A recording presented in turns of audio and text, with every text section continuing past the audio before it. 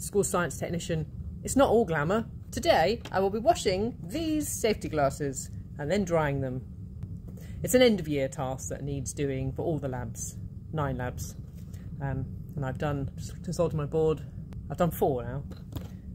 I did push, wash them all already once and then I left them to dry naturally and then they had marks all over them, you couldn't see through them. So now I'm doing them again. But these ones haven't been through the dishwasher yet. So these are dirty, very dirty. So, I'm going to stick them in the dishwasher and then in an hour and 21 minutes I will take them out of the dishwasher and dry them. It's so much fun. We will wash you. Oh no, look, this one's armless. Can't hurt anyone. Oh, oh, oh. We will wash you. It's from the mice and the mouse organ. This is dishwasher POV. People say POV or do they just say point of view? Or do they even say POV? I'm pretty sure they don't say POV. I'm going to put this one in anyway because I might be able to find an arm.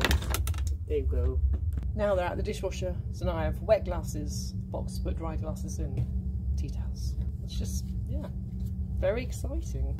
Set of 30 for each classroom, and probably that'll last about one practical, because the kids never put them back in the slots, they just chuck them in.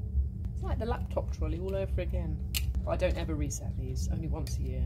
Board ready. I feel like these have warped in the dishwasher. Maybe they were warped already. I'm not sure anyone's got a head this shape.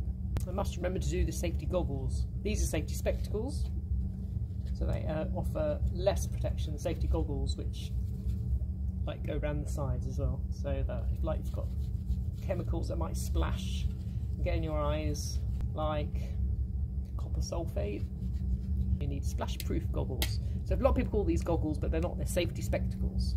It's 25 degrees in here today. 25. That's too much quite a lot of glasses missing from this set. Stocked. Ta